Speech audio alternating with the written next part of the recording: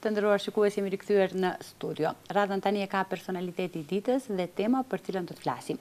Do të flasim për muzikën, do të flasim për artin, do të flasim për të bukurën. Në fakt do të diskutojmë eh, me një të ftuar sot në studio, që është një këngëtare eh, eh, e re në fakt, por gjithashtu është shumë e talentuar dhe e cila ka arritur shumë suksese. Do të kemi privilegjin që sot të kemi të ftuar në emisionin tonë Erblina Demiri. Përshëndetje Blina dhe mirë se erdhe. Përshëndetje Arjana, faleminderit edhe një herë për ftesën që më bëre të jem mysafire e jotja sot këtu në emisionin tënd. Është kënaqësi për mua. Kënaqësia është edhe e jona që ke pranuar ftesën. Fillimisht ne kemi si të zakonshme nëpër emisionet tona, flasim pak për të ftuarit, domethënë një letërnjoftim të shkurtër në lidhje me ata se kush janë dhe nga vijnë. Pra ku u rrit, ku u lind edhe ku u shkollua Blina? Unë jam nga fshati Odër, edhe shkollën fillore kam kryer aty. Jam rritur, gjitha kjo është është kënaqësi të jetosh në një fshat kaq të bukur, pse jo. Po.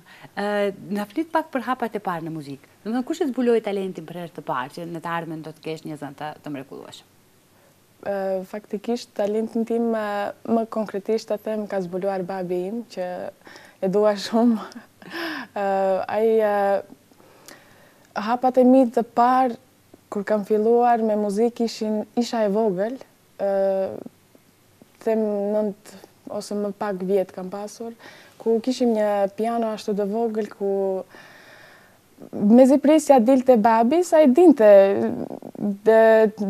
Që të performojë ndonjë këngë, po ishte, ishte ai inspirimi nga babi, se sa dilte ai, isha shumë e emocionuar që të hyj unë aty. Dhe këngën që kam mësuar që në fillim, t'i bie, të luaj me pianon, ka qenë Fjalët e qiririt. Një këngë shumë e bukur. Po, sigurisht. Ka qenë, kanë qenë momente që nuk harrohen kurrë.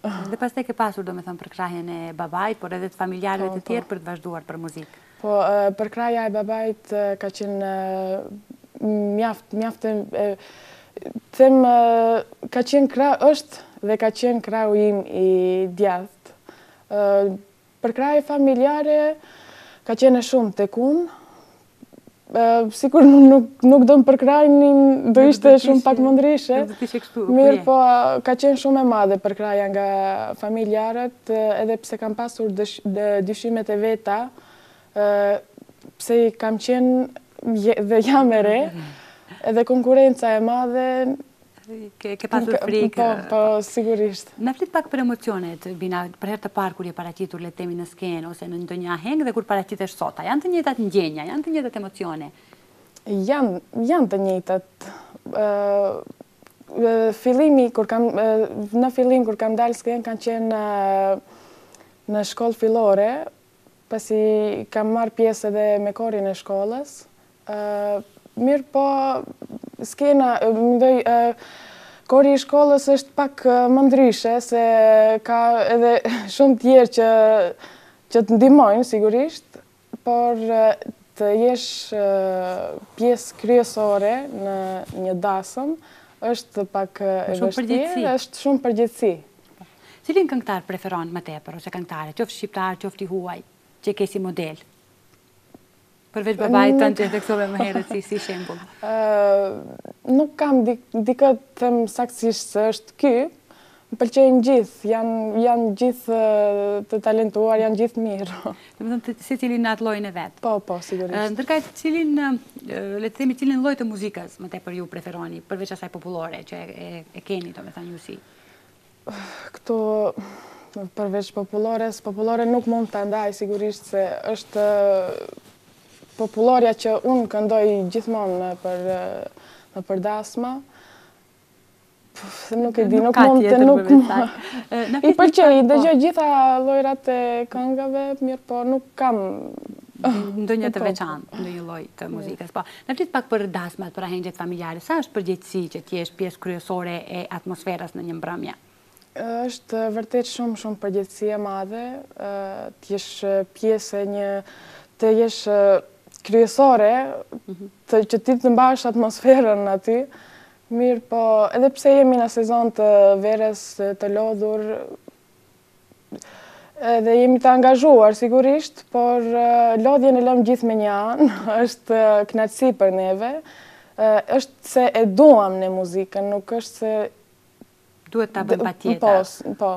Kjo është megjithatë pasion. Po, po, sigurisht. Gjithmonë je me babain tënd edhe jashta vendit, kur shkoni nëpër mbrëmje të ndryshme, sa kjo të ndihmon, sa të ndihmon në këtë drejtim, kur e di që e ke dikë që të mbështet bashkë me ty?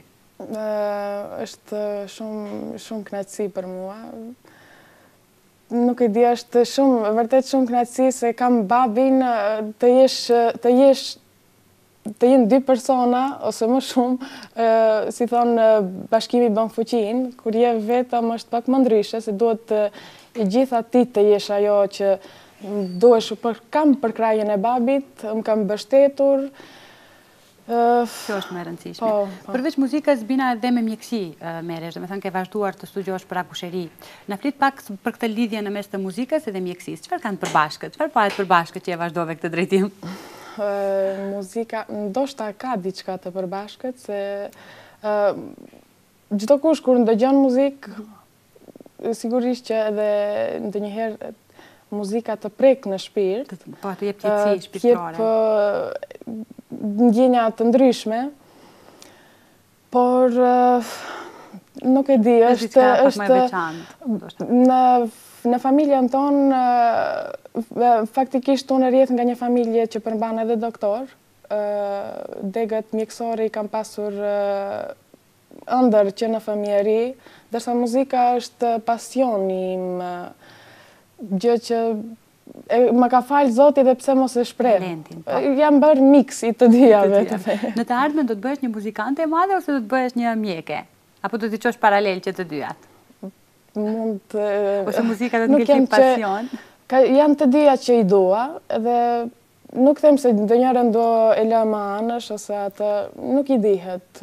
Jetës. Nuk i dihet jetës. Me kë bashkëpunoni në lidhje me muzikën? Orkestruesit, kompozitorët e këngëve?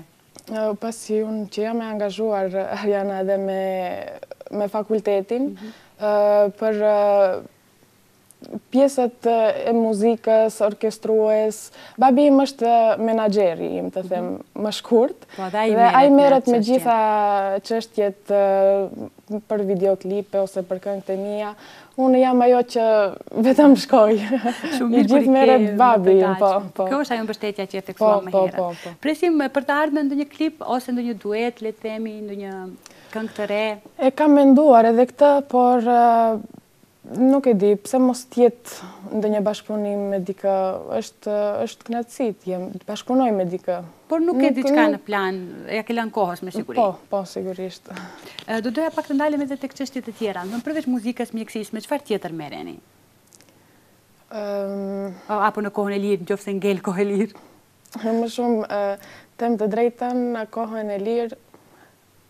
Ne si femra që jemi, sigurisht që merremi edhe me punët e shtëpisë, por në kohë më të lirë merrem edhe me lexim, por edhe me muzikë. Edhe me lexim, po. Po më shumë më shumë merrem edhe me muzikë, se është gjëja që që më pëlqen edhe e dua, por edhe leximin, pse jo. Po. A mund të jetohet apo të mbijetohet sot në vendin tonë nga muzika? Vetëm nga muzika, domethënë ta kesh vetëm një profesion edhe a mund të dalësh le të themi në fund të muajit? Është Është e vështirë ndoshta? Sepse unë unë, personalisht nuk e bëj këtë vetëm për përfitim. Komercializëm, po. Po, sigurisht. Unë e kam, e kam që muzika më fle shkurt në zemër. Është gjëja që që e, e dua vërtet Edhe nuk është diçka që varen vetëm nga muzika, dhe pres vetëm nga muzika. Po, meqenëse e don muzikën, çfarë do i kishe porositur ata të cilët dëshirojnë të merren me muzikë? Çfarë do të kenë parasysh? Në pikë të parë, nëse Zoti ia ka falë talentin, zërin për muzikë, Duhet muzika ka përgjegjësi të madhe sigurisht. Duhet të jetë i vendosur në në vendimin që merr dhe sigurisht të ketë edhe përkrahjen se vetë është shumë vështirë t'ia dalësh, por Asnjëherë mos u bazoni tek tjerët, çfarë thonë. Po, do të thotë duhet vetë të jeni të vendosur në ëndrrën tuaj që ta bëni realitet. Elbina, unë nuk do të marr më shumë kohë, ishte vërtet një intervistë e shkurtër, por ishte shumë e këndshme, meqenëse je edhe në hapat e parë të karrierës tënde, unë të uroj shumë suksese dhe uroj që në të ardhmen të jesh sërish nëpër emisionet tona me ndonjë klip, me ndonjë projekt të radhës. Faleminderit që ishe me ne. Faleminderit edhe ti Ariana. Nderuar shikues, këtu do të bëjmë një shkëputje për t'u rikthyer në pjesën e fundit të emisionit.